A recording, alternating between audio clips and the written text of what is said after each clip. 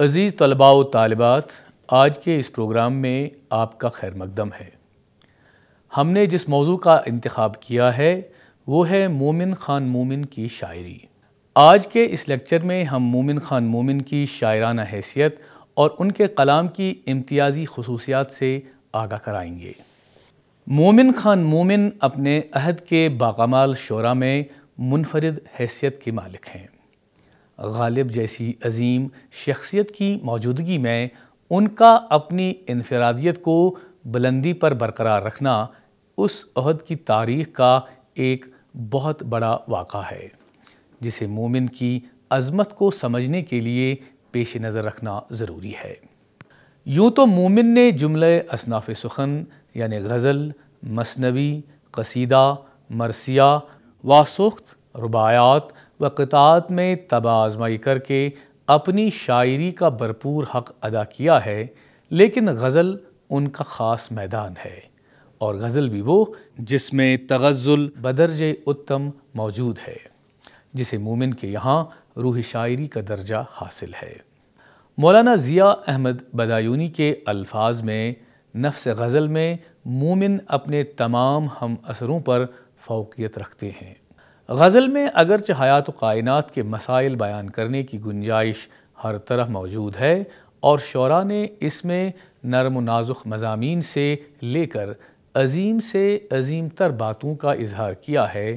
फ़लसफ़ा तसवुर हमत अखलाक और ज़िंदगी के गूनागूँ पहलुओं पर शरा ने रोशनी डालकर गज़ल के दामन को वसी से वसी किया है। लेकिन मोमिन के यहाँ कुछ और भी है। उन्होंने गज़ल को जिन एहसास के इजहार का ज़रिया बनाया है, वो इश्क के मामलात हैं। हिजर विसाल के क़स्से हैं। माशूक से सीधे साधे अंदाज में गुफ्तु है। इश्क की वारदातें हैं, जिनमें आप बीती का अंदाज है। और सबसे ज़्यादा ये कि गज़ल को गज़ल की हद में रखते हुए गुफ्तन, बाजना या हकायात, अज़ जवानी व हदीस इश्क जन्ना की तस्वीरें हैं। जो गज़ल की मानवियत को लेकर मोमिन के यहाँ उभरती हैं और दिलनशी हो जाती हैं। मोमिन की शायरी में कई इश्कों का ज़िक्र मिलता है, इसलिए भी मैदान इश्क में उनके मुशाहिदात ज़ाती व इल्मी थे, जिसके नकूश उनकी गज़लों में उभराना भी एक फितरी अमल था। इसीलिए गज़ल में उन्होंने सिर्फ़ इश्किया शायरी को जगह दी है और दूसरे मसाइल को इस सिंफ में ज़्यादा तवज्जो नहीं दी। इस सबब से उनकी गज़ल की फ़ज़ा एक खालिस तासर पैदा किए बगैर नहीं रहती है। यही वजह है कि उनके तखयल की रंगीनी और जज्बात की फरावानी मिलती है। इस सिलसिले में प्रोफेसर ज़हीर अहमद सिद्दीकी का बयान बरमहल है। कोट, मोमिन न फ़लसफ़े के मुबलग हैं, न अखलाक के प्रचार करने वाले। अपनी गज़ल में वो सिर्फ़ एक शायर और एक आर्टिस्ट नज़र आते हैं। उनकी शख्सियत में इनफरादियत, उनके तखयल में रंगीनी और उनके जज्बात एहसास में रानाई है। यही इनफरादियत और रंगीनी उनकी गज़लों में भरपूर रचे हुए अंदाज में नज़र आती है। अनकोट। मोमिन की गज़ल की एक नुमाया खसूसियत उनकी दाखिलियत है, जिसकी छाप उनके कसाइद और मसनूयात पर भी मौजूद है। ये बात काबिल ज़िक्र है। एक तरफ़ दहली में शाह नसीर और लखनऊ में शेख नासिक जैसे इस खारजी शायरी के मैदान में पेश पेश थे और फिर मोमिन व गालिब इसी रंग में रंग गए थे। तो उस वक्त मोमिन ही थे जिन्होंने कुछ कदरे नासिक की राह पर चलकर अपनी तर्ज अलग निकाली और अपनी इम्तियाज़ी शान को मनवाया। मुलाहिजा हो ये अशार मैं भी कुछ नहीं वफा करके तुमने अच्छा किया निबाह न की। क्यों कर ये कहें, मिन्नत आदा न करेंगे क्या क्या न किया इश्क में क्या क्या न करेंगे। दामन उसका जो है दराज तो हो, दस्त आशिक रसा नहीं होता। कुछ कफ्स में इन दिनों लगता है जी, आशियाँ अपना बर्बाद किया। तुम हमारे किसी तरह न हुए, वरना दुनिया में क्या नहीं होता? मोमिन ने अपनी गज़ल के तमाम तर मजामी में तगज़ुल बर दिया है और उनकी जिद्दतमंदी ने उन हदूद में तनुआत की वसअतों को जन्म दिया। उन्होंने मुख्तलिफ़ गैर ज़रूरी रिवायती मजामी गज़ल को अपने यहाँ जगह न देते हुए तसवुफ़ को भी अपने मसलक के ख़िलाफ़ तस्वुर किया और गज़ल को खालिस मजामी हसन इश्क तक ही महदूद रखा। वो चूँकि आशक मिजाज और शाहिदबाज थे। आशकी उनका मसलक था और मजाज ख़ास मैदान। चनाचे इस मैदान में उनको जिन चीज़ों से सबका पड़ा होगा, वो फ़िराक विसाल, निशात गम, वफा व जफ़ा, रश्क व दुश्मनी और तान अगयार के अलावा और क्या होगा। चनाच उनकी गज़ल को इन चीज़ों के आईने में दिखाना ही उनका सही मुताल होगा। इन चीज़ों के अलावा उनसे किसी और बात का मुतालबा करना उनके साथ इंसाफ होगा। तगज़ुल की असल खसूसियत अगर शेरियत है तो ये बात मोमिन के यहाँ बड़े ख़ास अंदाज में जलवगर है। उनकी शायरी में बेशतर जगह शेरियत अपने भरपूर जमालियाती शूर के साथ मौजूद है। मुलाहजा हो यह अशार रकीब खाए कसम तो वफा का आए यकीन, तू मेरी जान है, क्या तेरा एतबार मुझे? मांगा करेंगे उनसे दुआ के जरियार की। आखिर तो दुश्मनी है असर को दुआ के साथ। छुटकर कहाँ असीर मोहब्बत की ज़िंदगी? ना से ये बंद गम नहीं कैद हयात है। मोमिन का माशूक पर्दनशी है। वो सिनफ नाजुक की जुल्फ़ों के असीर हुए। उनका इश्क फितरत के मुताबिक और पूरी सदाकतों के साथ हमारी निगाह के सामने अमली तौर पर जलवगर होता है, जिसका अक्स उनकी मसनवियों में अपनी पूरी रानाइयों के साथ मिलता है और जिसके मुरक्के उनकी शायरी में भी बिखरे पड़े हैं। उनके अशार में ये पर्दा नशी बार बार बेपर्दा होता है, जिससे मोमिन के इश्क पर रोशनी पड़ती है। हिजर पर्दा नशी में मरते हैं, ज़िंदगी पर्दा दर न हो जाए। मर्ग ने हिजरा में छुपाया है मुँह, लो मुँह उसी पर्दा नशी का क्या। डॉक्टर यूसुफ हुसैन खान के अल्फाज हैं, कोट, उन्होंने अपनी गज़ल को मजाजी इश्क के इजहार का ज़रिया बनाया और उसकी हदूद से आगे बढ़ने की कभी कोशिश नहीं की, अनकोट। मोमिन की तबीयत में चूँकि अपनी राह आप निकालना, अपने अंदाज फ़िक्र पर अमल करना और अपनी तर्ज सुखन पर चलना मौजूद था। इसलिए उन्होंने शायरी में तकलीद को रिवायती रखा और अपने इश्क की तरह अपनी गज़ल को भी रिवायती अंदाज के करीब न जाने दिया। इस सिलसिले में उनको साहिब तर्ज होने का दर्जा हासिल है। वो मुकलद नहीं मुवजद हैं। इसलिए गालिब, हाली, आज़ाद और शिफ्ता के अलावा मौजूदा नाकदीन ने उनके कमाल फ़न की दाद दी है और शायरी में उनकी इम्तियाज़ी हैसियत को तस्लीम किया है।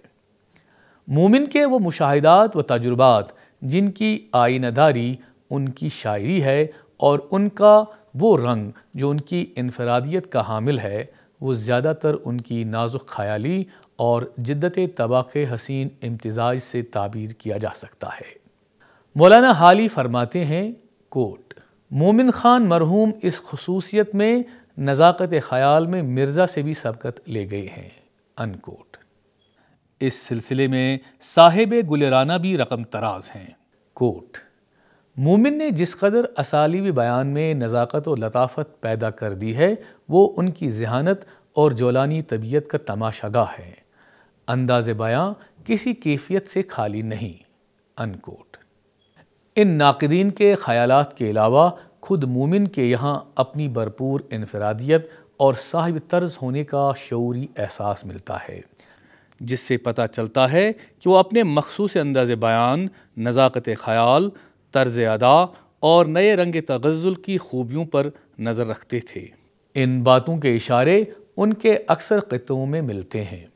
गज़ल के इन ख़त्ों में अपने अंदाज, अपने ढब अपनी गज़ल, शोला ज़ुबानी, गज़ल सराई और इसको गज़ल कहते हैं, जिनके अल्फाज पर गौर करने से अंदाज़ा हो सकेगा कि मोमिन के ये इशारे गज़ल के अपने मखसूस अंदाज को समझाने और अपनी तर्ज अदा पर तवज्जो दिलाने के लिए हैं।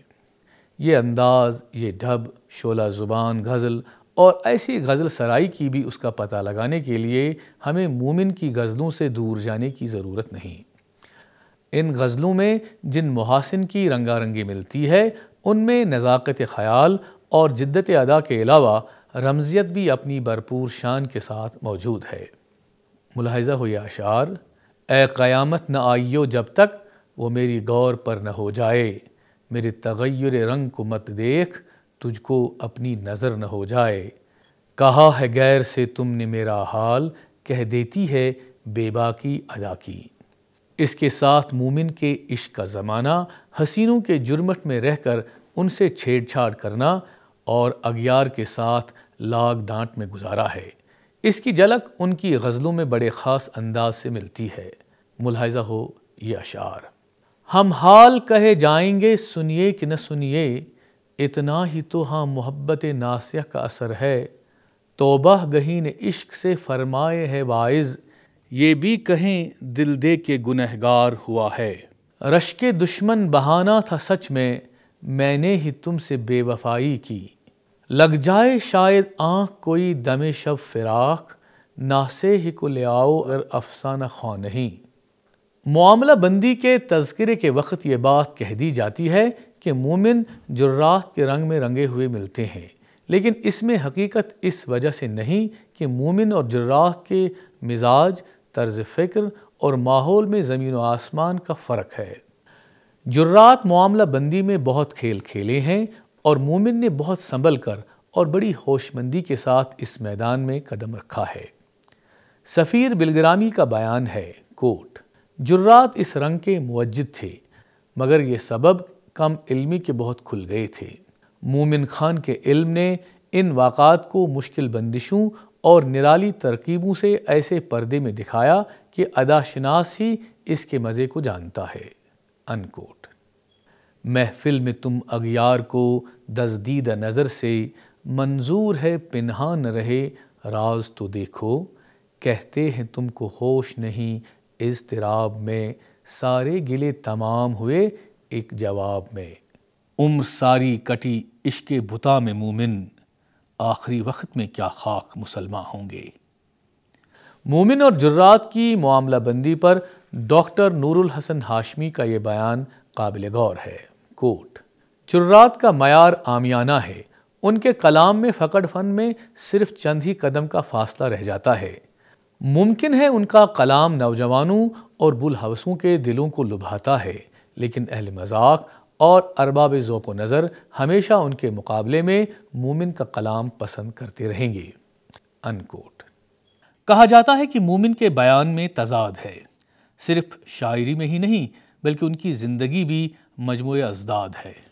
दरअसल मिजाजन मोमिन हक परस्त वाक़ा हुए थे। लड़कपन से ज़िंदगी के एक ख़ास हिस्से तक वो इश्क करते रहे।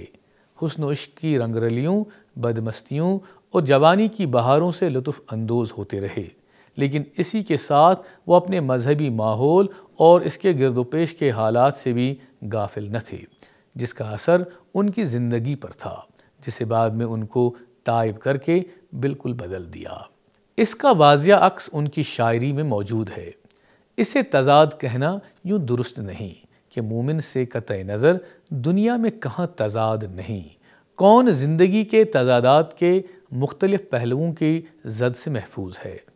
मोमिन का तो तखलस भी उनकी तबीयत और उनके दरमियान एक तजाद, बल्कि हुसन तजाद बनकर उभरता है, जिसकी मिसालें उनके क़ितों में बेशतर जगह मौजूद हैं। क्यों सुने अर्ज़ मुस्तर, ए मोमिन, सनम आखिर खुदा नहीं होता। शिकवा करता है बेनियाजी का तो मोमिन बुतों को क्या जाता?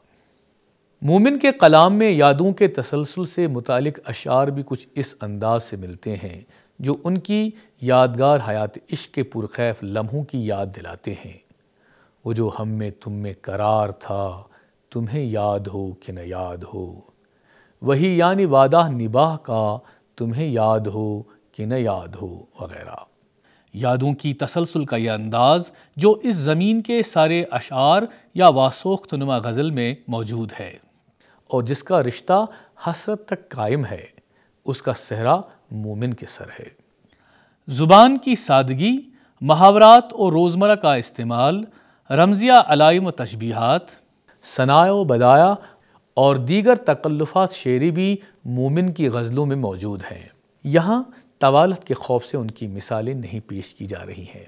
लेकिन मोमिन गज़ल के नए आहंग का शायर के उनवान के पेश नज़र उनकी गज़लों का जायज़ा लेते हुए एक बात उनकी मुहासिन शेरी के सिलसिले में, जो बतौर ख़ास कही जा सकती है, वो उनकी अहम शायराना खसूसियत, यानी फ़िक्र शायराना है, जिससे उनकी नुजरत अदा उछुए अंदाज बयान, और चौंका देने वाले तर्ज का पता चलता है।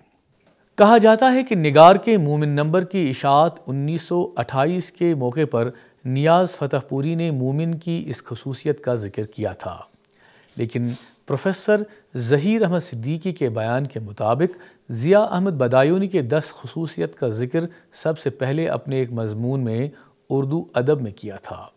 ज़िया साहब मरहूम ने मोमिन के महक़ नक़ाद की हैसियत से दीवानी मोमिन और कसाइद मोमिन पर जो काबिल कदर काम अंजाम दिया है और उनके कलाम मोमिन और बिलखसूस गज़लियात मोमिन पर भी जो नज़र थी उसकी रोशनी में कोई वजह नहीं कि इस बयान की हकीकत से इनकार किया जाए। अगरचे ये वस्फ शायरी ताज़ा गोई के झेल में आता है, लेकिन चूँकि मोमिन के यहाँ ये खसूसियत एक मुस्तकिल हैसियत रखती है, इसलिए इसका ज़िक्र यहाँ ख़ास तौर पर ज़रूरी है। इस वक्त शायरी के झैल में मोमिन ने बेशतर जगह कुछ ऐसा तर्ज इख्तियार किया है, जिसमें अपने फ़ायदे की बात माशूक से कुछ इस पैराए में बयान करते हैं। कि इसमें इसकी खैर ख्वाही दिखाई दे और ज़ाहिरन मोमिन का अपना कोई फ़ायदा या मकसद नज़र न आए। इस तरह माशोक शायर के मकर का शिकार हो जाता है। गज़ल का वो रिवायती शायर जो आम तौर पर माशूक के फितन मुशर का शिकार रहता है और हमेशा उसके रहम करम पर रहकर बंदगी, बेचारगी की सरतापा तस्वीर बनाता है, वो मोमिन के मकर शायराना वाले अशार में कुछ और चकाई देता है। उर्दू गज़ल में मोमिन की ये पहली गज़ल आवाज़ है, जो आशिक का सर फ़ख्र से ऊँचा करती है।